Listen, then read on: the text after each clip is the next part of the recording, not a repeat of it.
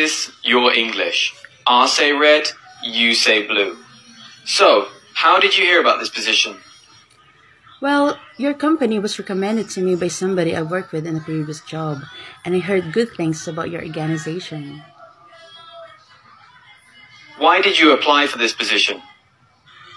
Since beginning of my career, I've wanted to work for a larger organization in this industry, and I know you're one of their leaders in this space, so I would be excited to come here and enhance my skills. Okay, and why are you looking to leave your current job?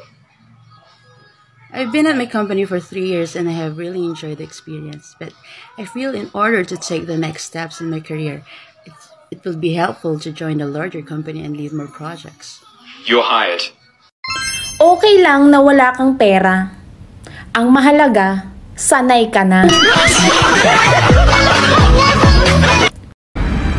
Hindi ako takot na machismis. Wow. Normal lang yan sa magaganda. If I was you, I'd wanna be me too. I'd wanna be me. Hala, pataba ka ng pataba. Ikaw papangit ka ng papangit.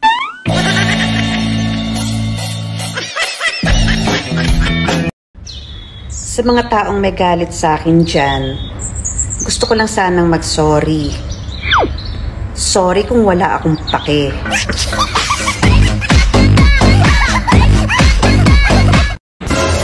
Oo, hindi ako maganda. Pero sa katawan, Wow. hindi din.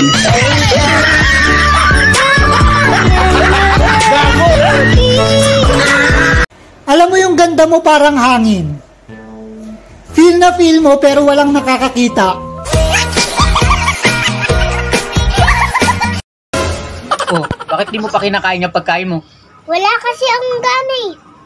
Kumain ka kahit dalawang kutsara lang. Di ko nga malunok yung pansit kutsara pa kaya. Ba?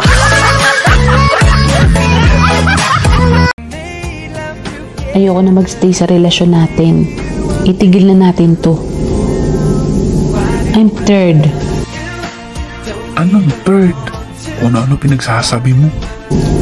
Pagod na ako. Bobo ka? Are you single?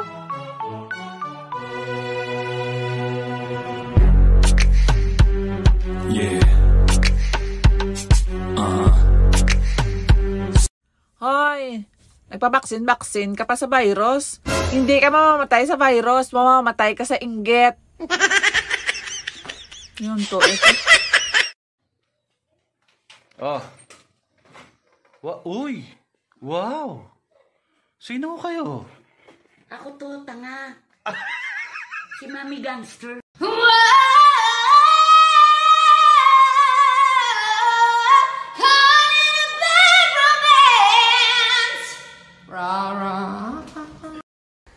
Hello, umiyak ka.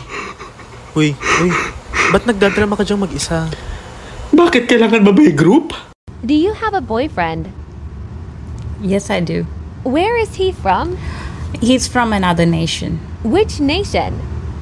Imagination. Mare, bakit hindi ka pa nagpapariban?